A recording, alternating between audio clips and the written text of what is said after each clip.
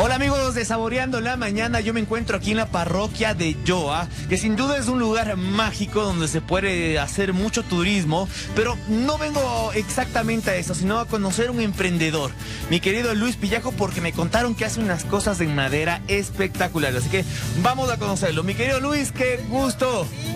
Un gusto verlo, venga. Vamos a conocer, así que acompáñeme.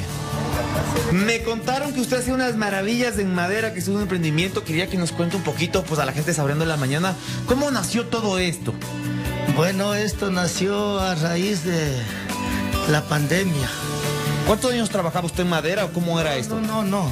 ¿No trabajaba? No, es- por eso es lo que le digo que yo sentí mucho el golpe por cuanto yo tengo una camionetita y yo ahí pirateaba y se acabó el trabajo y nos quedamos pues con las manos cruzadas. Y como todo ecuatoriano pues no se puede quedar con las manos cruzadas, dijimos a ver, algo hay que hacer pues no para salir adelante. ¿Cuál fue lo primero que se aventuró a hacer? Lastimosamente los primeros eh, que hice ya salieron. Ya se han Pero se han vendido, pero entre uno de ellos, el más antiguito es este.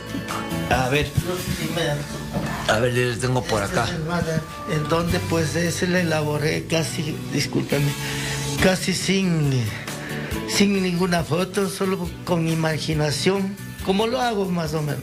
Pero es eh, la elaboración eh, prácticamente, eh, como le digo, rústico.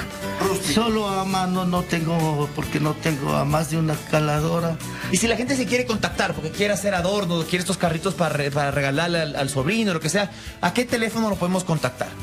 A, a mi teléfono que es el 0984791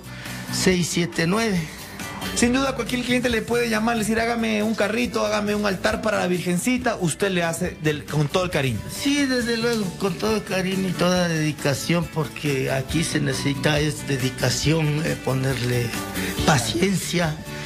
Mi querido Luis, vea, casi me saca una lágrima. Esta espada es de mis épocas, la de los Thundercats, la espada del augurio. Y sin duda se ve el trabajo tan bien hecho. Y no solo veía eso, veía que es una familia de emprendedores, porque su esposa, eh, María Guillermina, también realiza cosas en tejidos. Cuéntanos un poquito más de lo que podemos encontrar acá eh, para, para también decorar la casa. Desde que nos casamos hace 42 años, ella eh, fue aprendiendo cursos, cursos de distintas cosas, entre ellas estas. De tejidos.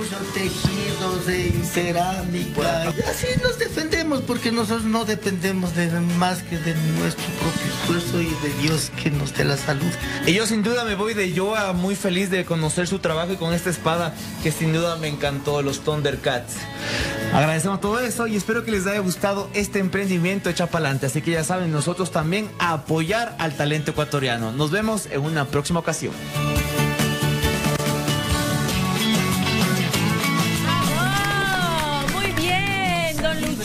Qué hermoso emprendimiento en realidad.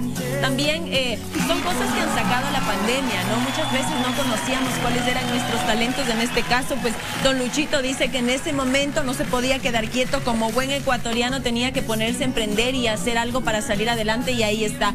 Podemos ver eh, todo lo que él hace, todo lo que él fabrica, ya sabe, entre ecuatorianos, entre, bueno, todos, porque ecuatorianos o no ecuatorianos que viven en nuestro país, si les gustó lo que hace Don Luchito, pueden comunicarse con él, por supuesto, para adquirir uno de sus productos, que aparte es algo lindísimo y le están dando una mano. Esa es la idea, mi querida Cari. La idea es que también la gente o empresas grandes que puedan ver esto y necesiten algún adorno, algún, Algún detalle, regalo para la Navidad, para por la ejemplo. Navidad, lo contacten y él puede hacer pues, en, en- en mayor cantidad, porque no trabaja en madera, puede hacer muchísimas cosas, desde ganchos para la ropa hasta camiones con los detalles que veíamos. Hay unos detalles chiquititos que él aprendió poco a poco, ¿no? Y como él es fanático de las camionetas, camiones, realiza mucho ese tipo de trabajos, como podemos ver la espada, como podemos ver también adornos, nacimientos. Le quedaste con la espada, te regaló. Me, me- me vio tan emocionado de la espada que sí, sí, me la dio una espadita que sin duda ahí la tengo como. eh, yo creo que la tengo ahí guardada hasta como un bonito recuerdo, ¿no? De ver a los emprendedores ecuatorianos Yo no conocía a Yoa, también están invitados. Qué bárbaro, Yoa qué es espectacular, me pareció un destino muy, muy, muy bonito para hacer bicicleta, para conocer, para relajarse de la ciudad. Y está ahí Y va donde Don Luchito hacer no la conocen compra. en serio. No, vaya no con sus yo. guaguas este Vaya, fin de semana. vaya. Hay una hostería hermosa, no sé si podría decir, no, hay un restaurante italiano espectacular que el chef es mis respetos, que también, cierto le voy a llamar y les voy a pasar el teléfono para ver cuándo nos puede acompañar también.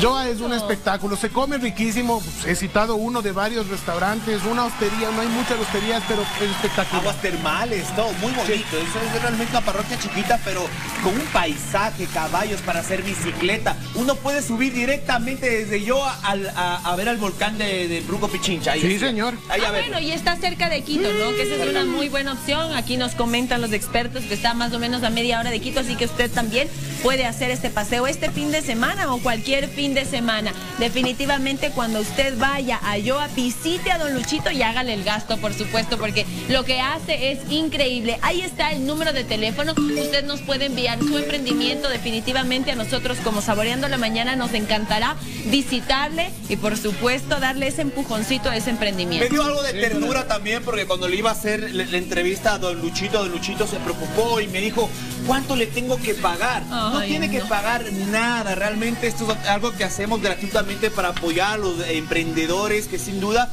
tienen las cosas Con difíciles, mucho cariño, no tienen ¿eh? que hacer y lo hacemos con mucho cariño y así que escríbanos con toda la confianza que esto no tiene ningún valor, ningún costo, lo hacemos porque queremos apoyar. al Y talento. queremos que vengan a cocinar también acá, es un Claro. gusto que traiga su emprendimiento. Ya quedamos con Neilita, ¿se acuerdan de Neilita que le sacamos una, una nota hace un par de semanas? Ella está pendiente, eh, que nos pueda visitar, sería espectacular. Así es que queremos que nos visiten de cualquier parte donde nos vea. Coordinamos, nos visiten y será un gusto tenerlos aquí en la cocina. Este jueves van a venir emprendedores de Machachi. Lindo. Ajá, bonito. Lindo. Qué rico, ya saben, aparte de que nosotros vamos a comer delicioso, también se presentan estos emprendedores que es súper importante, ¿no? Obviamente dar ese empujoncito, nosotros lo hacemos con mucho cariño.